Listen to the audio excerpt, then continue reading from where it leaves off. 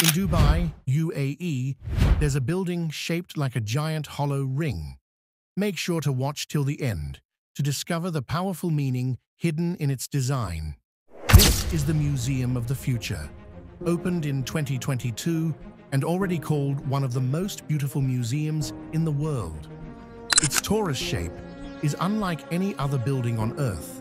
It's covered with 1,024 stainless steel panels made using advanced robotic welding. The Arabic calligraphy carved into its surface isn't just decoration. It's actually windows letting sunlight into the interior. But here's the most fascinating part. The hollow center represents the unknown, everything humanity has yet to discover and create.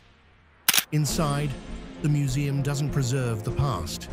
It's dedicated entirely to the future of science, technology, and innovation.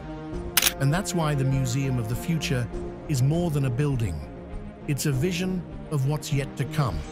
Would you step inside the future? Please like, comment, and subscribe for more amazing building stories with facts like these.